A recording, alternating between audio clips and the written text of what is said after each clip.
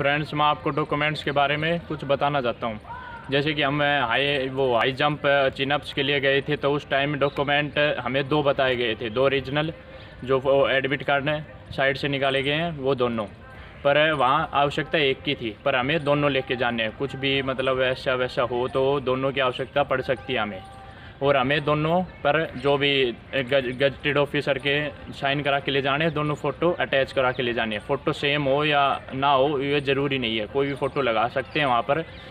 और फ्रेंड्स जैसे कि गजटेड ऑफिसर जो भी हो प्रिंसिपल हो गए, हमारे हेडमास्टर हो गए, जो भी है टीचर या कोई भी सरकारी विभाग का, वहाँ से करवा सकते हैं।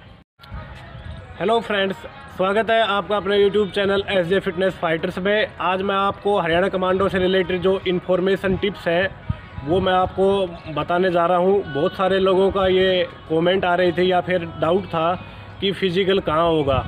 कोई बता रहा था रोड पर, कोई कह रहा था ट्रैक पर परेड ग्राउंड में। आपका फ़िज़िकल रोड पर ही होगा, तारकोल तारकोल वाले रोड पर। एक किलोमीटर आपको जाना है और एक किलोमीटर आना है। तो आप अपने हिसाब से एडजस्ट कर लेना।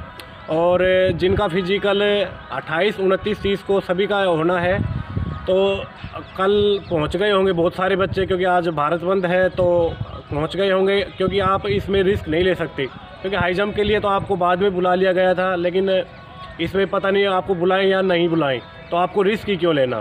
फ्रेंड्स वहाँ रहने के लिए गुरुद्वारा नड्डा साहिब सबसे अच्छी जगह है। वहाँ आप सेक्टर, चंडीगढ़ सेक्टर सत्रह से भी वहाँ पूछ सकते हैं और जीरकपुर उतर के पूछ सकते हैं। दोनों वहाँ से इक्वली लगभग डिस्टेंस इक्वली पड़ेगी। और वहाँ से जो सेक्टर सेक्टर फाइव है परेड ग्राउंड वो वहाँ से तीन किलोमीटर है। आप वहाँ से ऑटो कुछ भी करके जा सकते हो। तो फ्रेंड्स फ़िज़िकल से रिलेटेड आपको इन्फॉर्मेशन टाइम टाइम पर मिलती रहेंगी और कोई अगर न्यू अपडेट होगी तो उसकी भी वीडियो मैं बना दूँगा। Thank you